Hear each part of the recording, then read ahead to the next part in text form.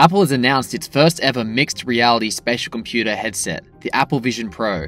This is the company's first major hardware launch for almost a decade. The new piece of augmented reality technology promises to unlock experiences like nothing we've ever seen, blending digital content with the real world. It'll focus on gaming, streaming video, conferencing, as well as health and fitness applications. Oh, and it will look a lot like a pair of ski goggles. Vision Pro feels familiar, yet it's entirely new.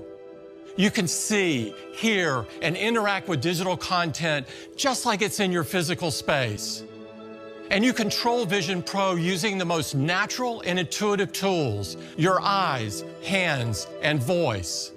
Owning this potentially groundbreaking innovation in VR won't come cheap, with a price tag of more than $5,000 AU attached. The headset also requires substantial computing power and will mainly operate when plugged into a power source, with the battery providing only 2 hours of usage.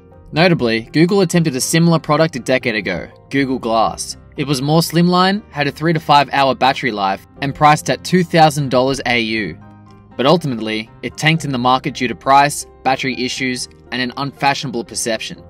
Apple's chunkier product may have similar issues, but a lot has changed in 10 years. With more consumers eased into the AR scene, perhaps the Apple Vision Pro may just have a fighting chance. Will you be giving Apple's new VR headset a go? Let us know in the comments below.